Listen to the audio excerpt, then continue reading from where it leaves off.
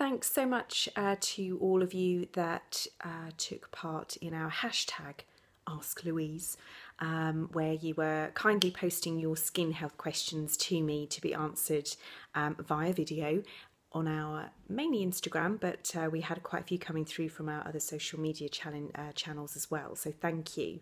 One of the ones that kind of really stuck out for me, and I thought I would answer now for you, uh, was about the use of acid toners. This seems to be a really kind of on trend product that everybody wants to use at the moment. And it was really along the lines of should I use one every day? Should it be after every cleanse? There's quite a lot of confusion. Now, we at You and Your Skin are huge fans of exfoliation and we use many different methods for exfoliation.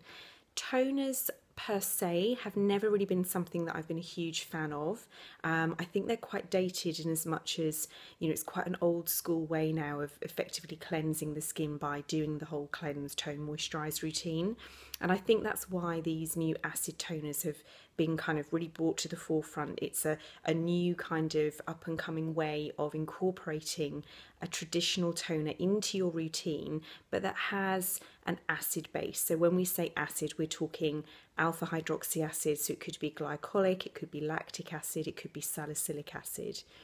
My answer to the question then about how much you should use I'm sorry to say this is something that's quite bespoke to the individual, so it really does depend on your skin type, but also the skin conditions. So, if you're somebody that has a lot of redness, a lot of hypersensitivity, um, I would actually say for you, using lots of acids on the skin isn't a great idea. So, therefore, if you've got an acid toner, I would say actually once a week or even ev- once every other week would be sufficient because you don't want to break down that protective kind of barrier on the skin even more and cause more redness and irritation.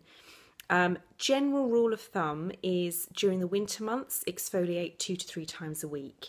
So I certainly wouldn't be recommending that everybody uses these after every single cleanse.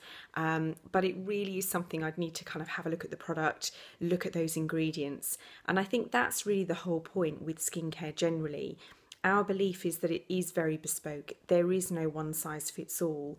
Um, but hopefully that's answered your question. So um, if you know, if in doubt, err on the side of caution. Go for two to three times a week, um, and feel free to contact us on a more individual basis, and we can have a look at that product um, and see if it's indeed right for you.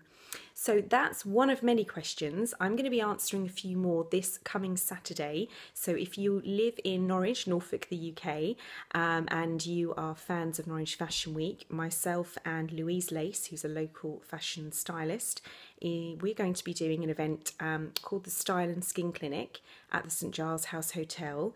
9.30 for a 10 o'clock start this Saturday the 12th of March um, and it's £20 a ticket. Details are on Eventbrite and it's going to be just about this. So we're going to be busting some myths around skin health and style and answering a few more of your common skin health questions. So it would be great if we could uh, see a few more of you there.